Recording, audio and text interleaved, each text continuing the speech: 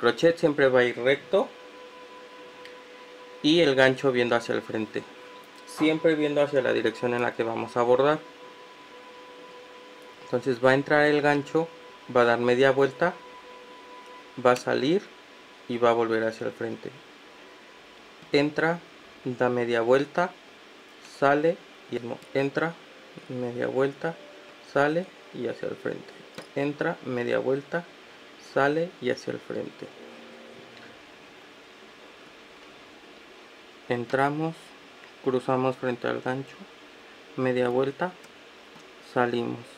Siempre salimos hacia arriba y antes de avanzar tenemos que girar hacia el frente y ahora sí avanzamos. Entra cruza el hilo frente al gancho damos media vuelta salimos jalando hacia arriba giramos hacia el frente y avanzamos.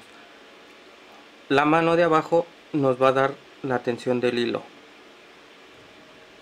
Entra cruza el hilo frente al gancho damos media vuelta salimos hacia arriba giramos hacia el frente y avanzamos.